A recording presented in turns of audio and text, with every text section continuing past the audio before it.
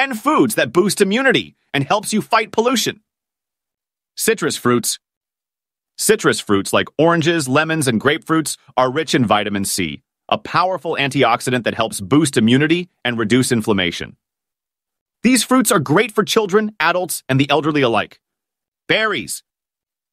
Berries such as strawberries, blueberries, and blackberries are packed with antioxidants that protect cells from damage caused by pollution. They're perfect for creating smoothies or adding to breakfast for kids and adults. Leafy greens. Spinach, kale, and Swiss chard are high in vitamins, minerals, and antioxidants. They're versatile ingredients for salads and smoothies, suitable for people of all ages.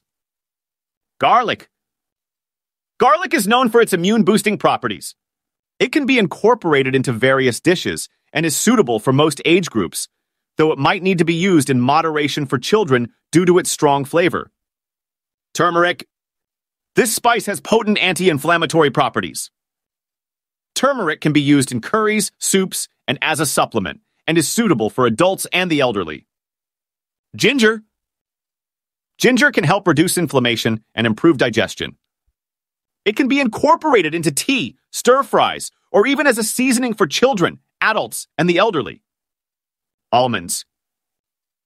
Almonds are a rich source of vitamin E, which is essential for a healthy immune system. They can be a healthy snack for children, adults, and the elderly. Yogurt. Probiotics in yogurt help maintain a healthy gut, which is crucial for overall immunity. Opt for plain yogurt and add honey or fruits for kids, adults, and the elderly.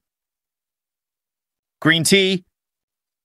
Green tea contains antioxidants like catechins, which can help reduce oxidative stress. It's a healthy beverage for all age groups. Moringa.